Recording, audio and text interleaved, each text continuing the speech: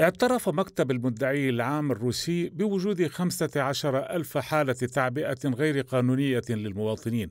في غضون ذلك تواصل مكاتب التسجيل والتجنيد العسكرية بمساعدة الشرطة مداهمات لأماكن تجمع الطلاب في موسكو.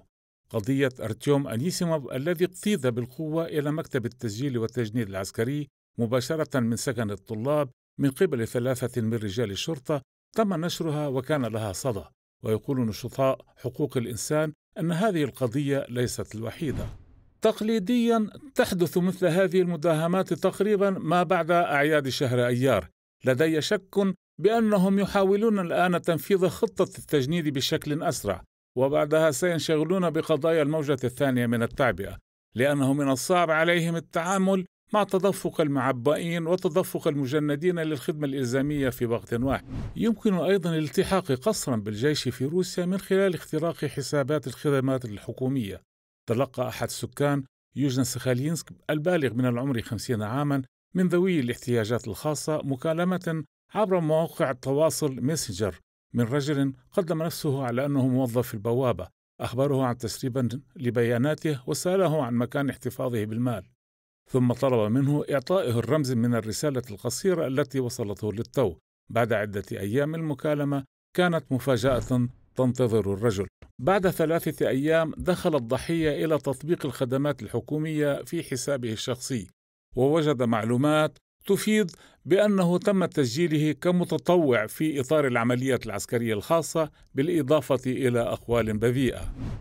بمجرد الوقوع يوما ما في صفوف الجيش الروسي لن يكون من الممكن تركه دون عقاب. حكمت المحكمة العسكرية في ستافروبل فيتالي ماتكين أب لعدة أطفال جندي متعاقد بخمس سنوات ونصف في السجن بقضية تركه لوحدته العسكرية بدون إذن خلال فترة التعبئة ولم تأخذ المحكمة بعين الاعتبار اعتراض ناشطي حقوق الإنسان بشأن انتهاك شروط العقد من قبل الدولة وكون ماتكن هو المعيل الوحيد في الأسرة. تم تجاهل حجج الدفاع أثناء الاستئناف الذي تم النظر فيه قبل أيام وظل حكم محكمة ستافروبل دون تغيير. اعتبر المجلس القضائي للقضايا الجنائية أن مدة السجن خمس سنوات وستة أشهر في السجن الجنائي عادلة ومتناسبة مع الفعل وكذلك أنها تتناسب مع الخطر العام للجريمة المرتكبة. الملازم أول دينيس بلوتنيكوف من مدينة أنيفا في جزيرة سخالين لم يعد من الحرب. علم عن وفاته في مارس عام 2022 توفي في منطقة لوهانسك في أوكرانيا. يروي مشروع غلاسنايا قصة والدته تاتيانا وهي تسمي ابنها القديس وتحتفظ بزيه لكرة القدم وتحاول أن تجد معنى في وفاته. كانت دينيس طالبا ممتازا في المدرسة وكان دائما يساعد الآخرين.